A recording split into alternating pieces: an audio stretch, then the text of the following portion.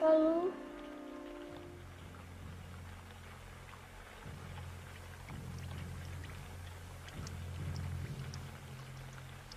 Balu, levante-se.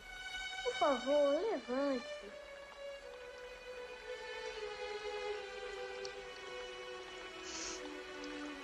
Oh, Mogli, procure entender. Bagheera, o que está havendo com ele? Seja corajoso, como Balu foi. Então quer dizer. Oh, não. Balu.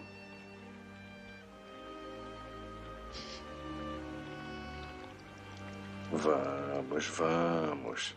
Eu sei como se sente. Mas você deve se lembrar, Mogli.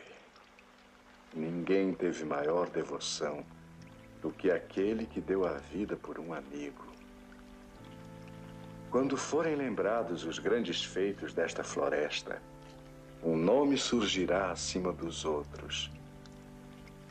Nosso amigo, Balu, o urso. O discurso é para mim. A lembrança do sacrifício e da bravura de Balu ficará eternamente gravada em nossos corações magoados. Bonito. Este lugar onde Balu tombou será sempre um lugar sagrado nesta floresta.